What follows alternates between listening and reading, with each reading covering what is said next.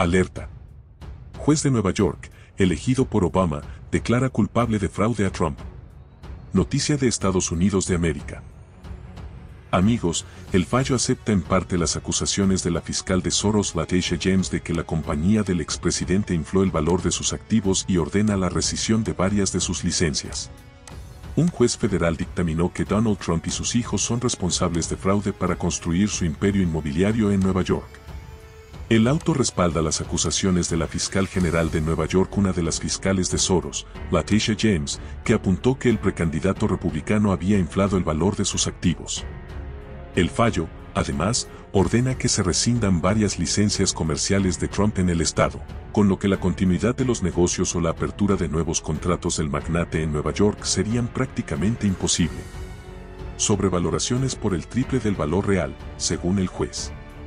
Según recoge el escrito de 35 páginas del juez Arthur Angeron, Trump y su compañía engañaron a bancos, aseguradoras y otras entidades al sobrevalorar de manera masiva sus activos y presentar un patrimonio neto exagerado en la documentación que presentaban para cerrar operaciones y conseguir financiación. Por ejemplo, el fallo señala que Trump triplicó en su estimación el valor real de su apartamento en la Torre Trump, lo que supondría entre 114 y 207 millones de dólares. Lo que exacerba la conducta escandalosa de los acusados es su continua dependencia de argumentos falsos, en documentos y argumentos orales. En el mundo de los acusados los apartamentos con alquiler regulado valen lo mismo que los apartamentos no regulados, la tierra restringida vale lo mismo que la tierra no restringida, las restricciones pueden evaporarse en el aire. Ese es un mundo de fantasía, no el mundo real. James reclama 250 millones de pesos en multas a Trump y su compañía. En la sentencia, el juez también determina que la fiscal general y los acusados deben recomendar los nombres de no más de tres posibles administradores judiciales independientes para gestionar la disolución de las empresas en un plazo de 10 días. Además, se establece que la jueza Barbara Jones seguirá como supervisora independiente de la organización Trump.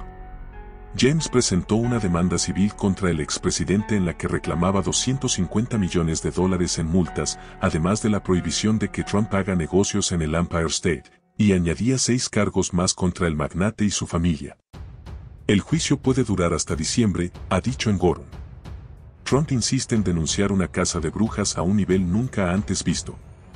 Trump emitió un comunicado oficial tras conocerse el fallo, señalando que los cargos son ridículos y falsos y señaló que se trata de una guerra judicial politizada por los demócratas, y una casa de brujas a un nivel nunca antes visto ejecutada por una fiscal partidista y que odia a Trump y un juez trastornado que también siente aversión por el favorito a representar al Partido Republicano en las presidenciales de 2024.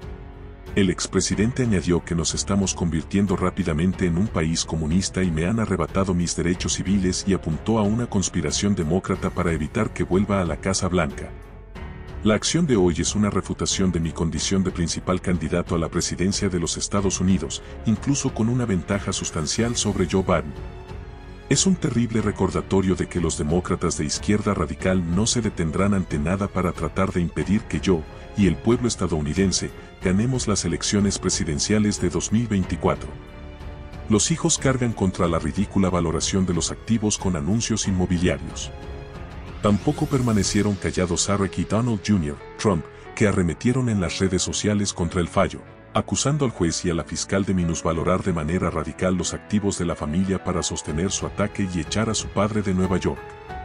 Como ejemplo, ponen el valor estimado que la justicia otorga a Mar a Lago, 18 millones, comparándolo con el valor que tienen en el mercado mansiones más pequeñas y peor situadas que la residencia del magnate. Respuesta del DOJ a las acusaciones de que la familia Biden recibió dinero de China, según Trump Jr. Donald Jr. incluso se hizo eco de usuarios de X que apuntaban a que este fallo era la respuesta de la administración Biden a la revelación de James Comer de los pagos recibidos desde China por la familia Biden. ¿Y tú dime qué opinas? Hay que ser fuertes patriotas y seguir adelante. Dios proteja al titán y nos proteja a todos de las acechanzas del maligno y bendiga a los Estados Unidos de América. Únete patriota a este tu canal de noticias sin censura y mantente informado de las mejores noticias de Estados Unidos de América. Dios los bendiga, te esperamos.